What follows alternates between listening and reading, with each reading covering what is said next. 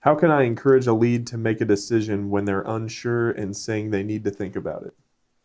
Ooh, okay. Couple, couple, couple ideas. Uh, and I've tried this. What's up, Derek? I've tried this with specific agents in general.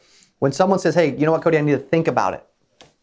Excellent. I respect that. Unfortunately, we have a no callback policy. You have everything that you need to make an informed decision today. Why don't you just take it? And, and they generally do. Now I like to finish with a question. That works. That's worked several times. People will, people think that won't work. I promise it works. I've had I've had agents that have heard it, used it, it worked, and then came on video and told us it worked.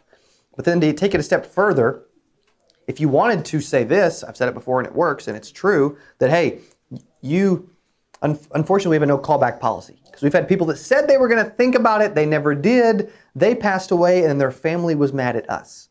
So to alleviate that concern and to make sure that we're doing our job and helping you the best way we're supposed to, we have a no callback policy. You need it, you want it, you can afford it.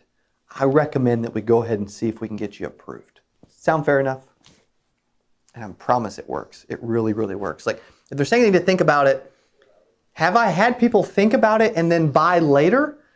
Yes, but the percentages are so small that I'm going to go for a one call close every single time. It's so low. I'm talking 1%, 2%. It's so low that, that I don't even mess with it anymore. I just I just go for it.